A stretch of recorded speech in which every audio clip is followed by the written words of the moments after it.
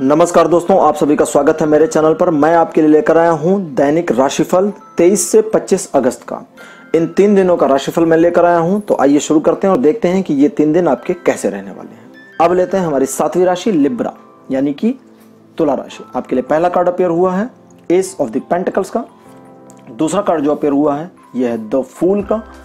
तीसरा card appear हुआ है एट ऑफ़ द पेंटिकल्स और चौथा कार्ड अपेयर हुआ है द हैंगमैन का। तो तुला राशि, आपके लिए ये जो तीन दिन है, ये उत्साह, रोमांच और उमंग से भरे रहेंगे। इन तीन दिनों में आप अपने अंदर बहुत एनर्जी भी महसूस करेंगे। तेईस तारीख के लिए द फूल का कार्ड अपेयर हुआ है, जो ये बताता है कि आपको अपने ऊपर विश्वास रखना चाहिए और उन चीज़ों में भी अपने हाथ आजमाने चाहिए, जिन चीज़ों में हाथ आजमाने से आप प्रायः डर जाते हैं।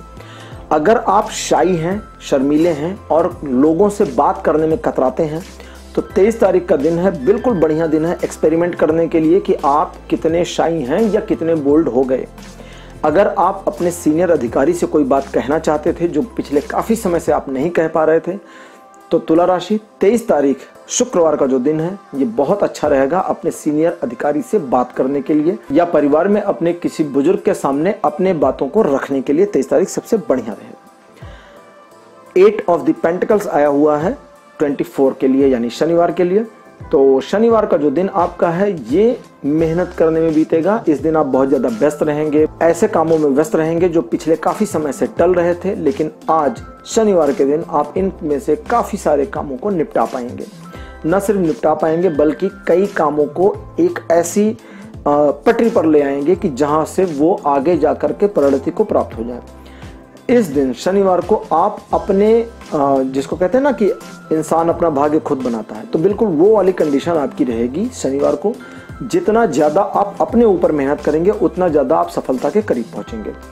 25 तारीख के लिए, रविवार के लिए मेरे पास द हैंडमैन का कार्ड अपेयर हुआ है, जो बताता है कि आपको थोड़ा इंट्रोवर्ट होना चाहिए और स्पिरिचुअलिटी की ओर ध्यान देना चाहिए। अपने ईश्वर, अपने गुरु की शरण में जाएँ। रविवार को आप बहुत खुश रहेंगे। रविवार का जो दिन है अगर आप ज़्यादा मिलने जुलने की बजाय थोड़ा अंतर्मुखी होकर शांत होकर मेडिटेशन करें या चुपचाप बैठें तो आप देखेंगे कि बहुत सारे विचार जो नकारात्मक थे आपके हट गए हैं और दिमाग पॉजिटिव चीज़ों से भरता जा रहा है।